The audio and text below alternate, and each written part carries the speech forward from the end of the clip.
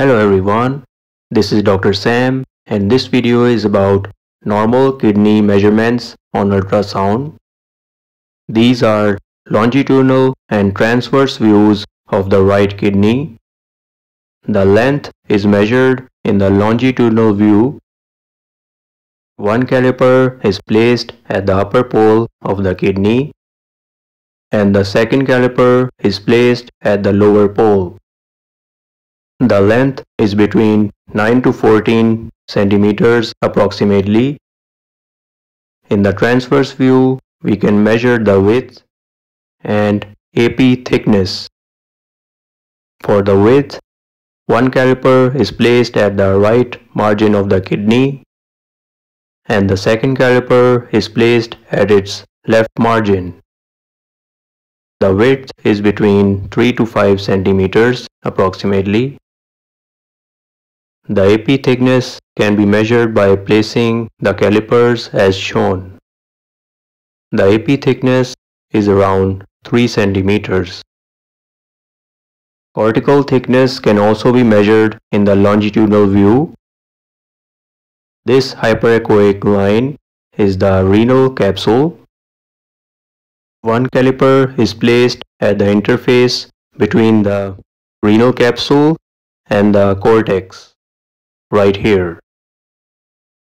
And the second caliper is placed at the base of the renal pyramid right here. Cortical thickness lies between 7 to 10 millimeters approximately. Parenchymal thickness can also be measured in the longitudinal view. One caliper is placed here and the second caliper is placed right at the margin of the renal sinus. So we can measure the whole parenchymal thickness. It lies between 15 to 20 millimeters approximately. These images are of the left kidney. In the longitudinal view, we can see how the length is measured. And in the transverse view, we can measure the width and the AP thickness. This image shows the caliper placement for measurement of parenchymal thickness. It lies between 15 to 20 millimeters approximately. This image shows the measurement of cortical thickness of the left kidney which lies between 7 to 10 millimeters approximately. After obtaining three measurements, renal volume can be measured using this formula.